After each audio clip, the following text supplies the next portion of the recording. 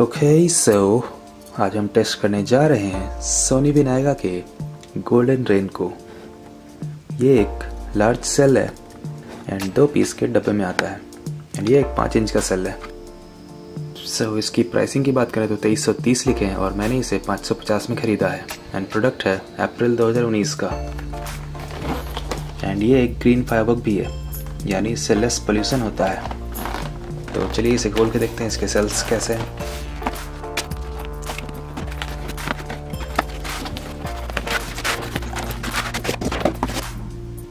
सो so, ये है इसका सेल काफ़ी बड़ा है एंड साइज़ भी काफ़ी अच्छा है इसका। जैसा कि आप देख सकते हैं इस पर गोल्डन रेन लिखा हुआ है। तो चलिए अभी इसे टेस्ट करके देखते हैं कैसे चलता है ये।